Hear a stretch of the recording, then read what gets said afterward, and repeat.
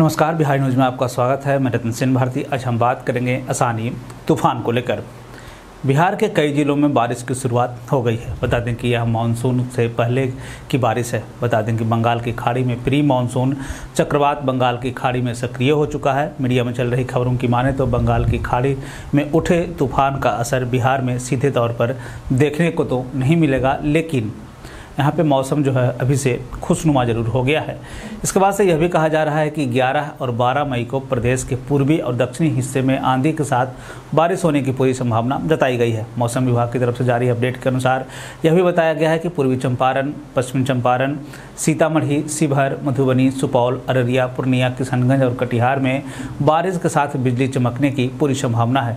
साथ ही साथ मौसम विभाग की तरफ़ से यह भी बताया गया है कि उत्तर बिहार के 10 जिलों में भी स्थानीय कारणों से आंधी, पानी और बारिश होने की पूरी संभावना है। साथ ही साथ यह भी कहा गया है कि दक्षिणी बिहार के कई हिस्सों में बारिश होने की संभावना जताई गई है। इसके साथ साथ यह भी कहा गया है कि राज्य के पूर्वी और दक्षिणी हिस्से में आंशिक बादल छाए रहने की बात कही गई है। एक तरह से कह लें कि प्रदेश के ज़्यादातर हिस्सों में इस दौरान जो है आंशिक बादल छाए रहने की, बारिश होने की और बिजली चमकने की बात जो है वो मौसम विभाग की तरफ़ से साफ़ तौर पर कहा गया है।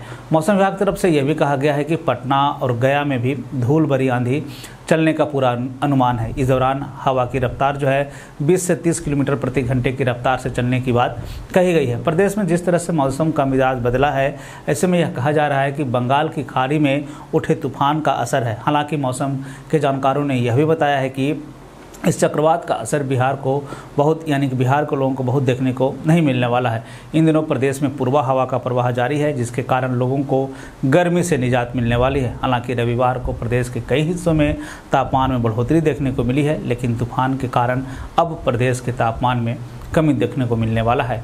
इधर मौसम विभाग की तरफ़ से जारी अपडेट के अनुसार यह बताया गया है कि प्रदेश में नौ से 12 मई तक प्रदेश के लगभग 10 जिलों में आंधी पानी की स्थिति रहेगी। साथ ही साथ यह भी कहा गया कि पूर्वी और पश्चिमी चंपारण के साथ साथ प्रदेश के कई ज़िले हैं, जिसमें कि सीतामढ़ी, शिवहर, मधुबनी, सुपौल अररिया, किशनगंज पूर्णिया और कटिहार में बारिश होने की पूरी संभावना जताई गई है। आसानी तूफ़ान को लेकर यह भी कहा गया है कि इस तूफ़ान का असर उड़ीसा आंध्र प्रदेश के साथ साथ झारखंड के कुछ हिस्सों में देखने को मिलने वाला साथ ही साथ यह भी बताया गया है कि आंधी तूफ़ान के साथ साथ हल्की बारिश होने की भी संभावना है। मौसम की तरफ़ से जारी अपडेट के अनुसार बताया गया है कि बिहार का मौसम जो है खुशनुमा रहने वाला है। इस दौरान यह भी कहा गया है कि पहले भी बिहार के उत्तरी हिस्से में बारिश की सक्रियता रही थी।